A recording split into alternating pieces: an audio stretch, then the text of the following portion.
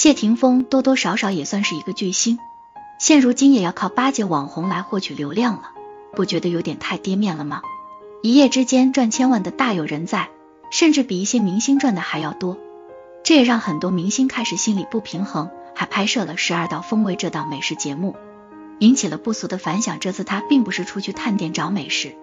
而是请来了谢霆锋为自己做饭，张柏芝都享受不到的待遇，竟然被这个网红捷足先登了。迎娶白富美，还生下了一个可爱的儿子，靠着短视频直接成为人生赢家。白冰一直拿谢霆锋的身份来说事，靠着这种方法来吸引眼球。白冰坐等开饭，而谢霆锋则一直在后面忙活着，人人都想吃谢霆锋做的菜，而白冰却毫不掩饰的对谢霆锋的菜品进行批评，一点面子都不给人家留。为了给自己找台阶下，顺着白冰的话继续说。夸赞白冰有水平，说的非常好，和他的感觉是一样的。二人接下来的一张合照暴露了真相，手捧着一张证书，